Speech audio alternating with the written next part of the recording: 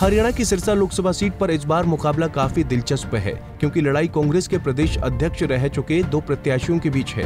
बता दें कि इस सीट पर कांग्रेस से कुमारी सैलजा और भाजपा से अशोक तंवर मैदान में हैं। वहीं दोनों ही पूरे ज़ोर शोर के साथ लोगों से जनसंपर्क करने में जुटे हैं। इसी कड़ी में बीजेपी प्रत्याशी अशोक तंवर जींद ज़िले के नरवाना हल्के पहुँचे, जहाँ उन्होंने उन्नीस गाँव का दौरा किया। इसी बीच रसीदा गाँव पहुँचने पर ग्रामीणों ने उनका फूल मालाएँ पहनाकर जोरदार स्वागत किया। इसके अलावा उन्हें लड्डुओं से तोला गया और पगड़ी पहनाकर सम्मानित किया गया। तो भाई ना आपकी आवाज़ मैं तो बड़े दूँगा और मेरी आवाज़ को आप संभाल के रखना पूरी मजबूती से आशीर्वाद देना। और जो मोदी जी का आप सबका सपना है कि 140 करोड़ लोगों का ये भारत पूरी दुनिया का नेतृत्व करे, ये विकसित भारत हो। ये दुनिया की आर्थिक महाशक्ति अगले पाँच वर्ष में बने, तभी मैं समझता हूँ कि सबका भला होगा। और पीछे जब आप लोगों ने मौका दिया तो पैंतालीस पचास हज़ार करोड़ रुपए के उस समय 2009 से 14 तक हम प्रोजेक्ट लेकर आए। ये चौड़े चौड़े हाईवे बनने की शुरुआत हुई, जिसको पूरा मनोहर जी और मोदी जी की सरकार ने किया। आगे हमारी फिर कोशिश होगी कि यहाँ पर बड़े उद्योग धंधे स्थापित हो और लाखों करोड़ के प्रोजेक्ट आए।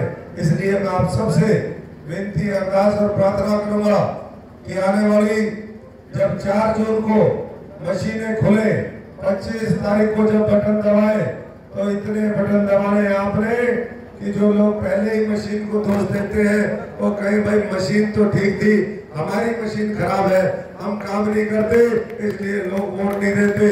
और जो कमल खिलाएँगे चार सौ पार में एक नायाब कमल वो नरवाने का वाला का हो, रसीदा वाला का हो, सिरसा वाला का हो, और 400 फूलों में अलग चमकता फूल हमारा हो और केंद्र की सरकार में मज़बूत हिस्सेदारी हो।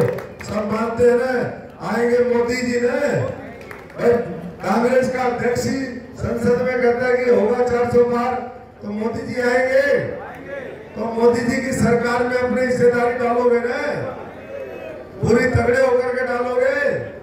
तो देखो जी, सबका फैसला रसीदा के लोगों ने आशीर्वाद दिया, मोदी जी को दिया, हमें दिया, और भविष्य में हम सब लोग कमल खिला करके और इस तरक्की की, इस इलाके की तरक्की सुनिश्चित करें, ये हम सब का प्रयास होगा।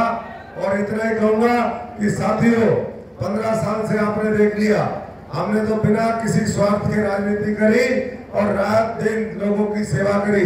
ये हम जैसे भाई कह रहे थे, अभी हमारे मैं तो सबको अपना परिवार मानता हूँ।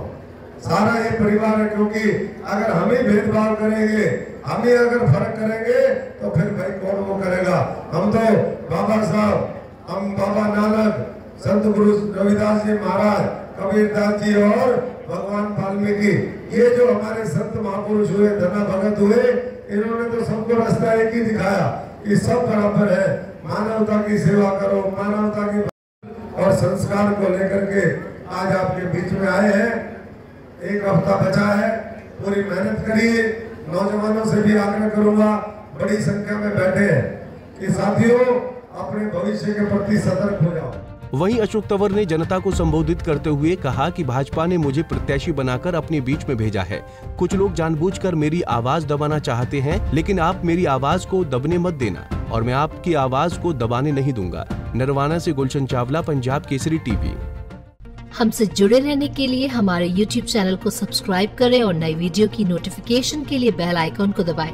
अगर आप ये वीडियो Facebook पर देख रहे हैं तो लाइक ज़रूर करें और ज़्यादा से ज़्यादा शेयर करें। धन्यवाद।